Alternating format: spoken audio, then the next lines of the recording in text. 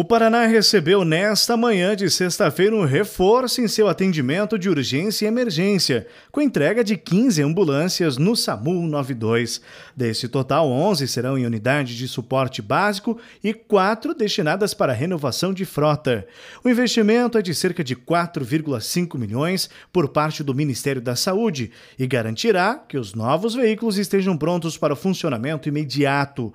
No Sudoeste, dois municípios foram contemplados. A gente aguardava a vinda dessas ambulâncias, são ambulâncias destinadas pelo Ministério da Saúde. Para o estado do Paraná são 15 novas ambulâncias, né, para ampliação de frota. Nós tivemos, iniciamos o SAMU Sudoeste com 10 bases, ampliamos para 13, agora já temos a 14ª base.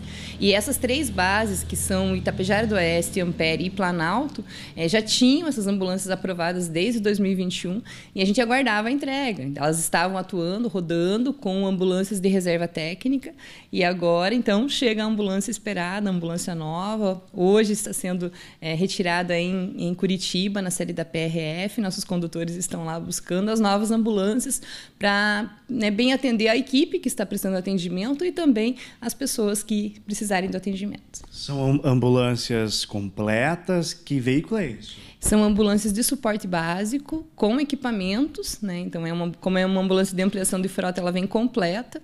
É uma ambulância é, muito bem equipada, muito bem preparada para garantir esse atendimento.